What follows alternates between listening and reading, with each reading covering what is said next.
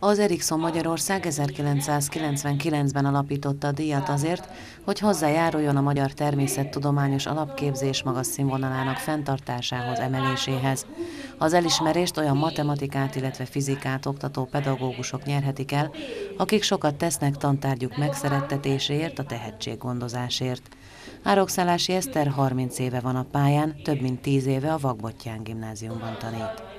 A kollégákkal nagyon-nagyon jól meg vagyok, nagyon örülök neki, mert mindannyian úgy érezzük, hogy itt jó helyük van a gyerekeknek, és mindannyian foglalkozunk velük, szeretjük őket, és a, ahogy a kollégákkal szoktunk beszélgetni róla, a mostani gyerekek kicsit talán birgoncabb, mint a régiek, de akkor is mindig megpróbáljuk megtalálni azt a módszert, amivel tudjuk őket fejleszteni, és ebben mindegyik kolléga partner, a vezetőség is partner is, jó együttműködés van, és ez, az, hogy az ember reggel úgy jön be munkába, hogy, hogy jó lesz, az már eleve egy plusz töltést ad.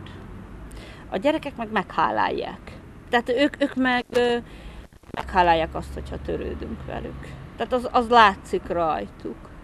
Lehet egy rosszabb nap, vagy jobb nap, de akkor is a összességében a végén a gyerek érzi, hogy vele törődnek, hogy őt szeretik, hogy fejleszteni kívánják hogy bármit megkérdezhet, mert biztos lehet, hogy valamilyen választ majd kap.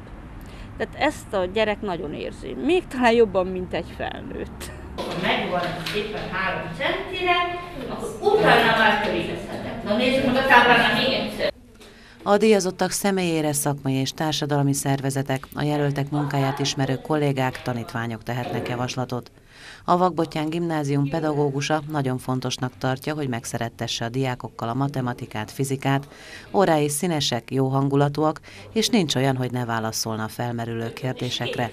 Az Erikson díjat második alkalommal nyert el a tanárnő. Az elsőt 1999-ben kaptam. Ugye azóta letelt 13 év, és lehet mondani, hogy talán az ember jól csinálja, hogyha nem vesztett el a nem, nem veszett el a motivációját, mert sok mindenen keresztül megy az ember az életében, talán el is veszíthetné. De hogyha, mi, hogyha azt mondják, kívülállók is azt mondják, hogy ez így van, nem veszítetted el, haladj így tovább, akkor ez egy jó visszajelzés.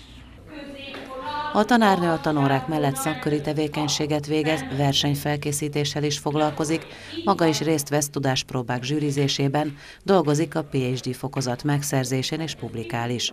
A matematika és fizika tehetségeinek gondozásáért kategóriában kedden vette át az Erikson díjat a Magyar Tudományos Akadémián. A kitüntetettel készített hosszabb beszélgetést a Csengő Szó június 12-i adásában adjuk.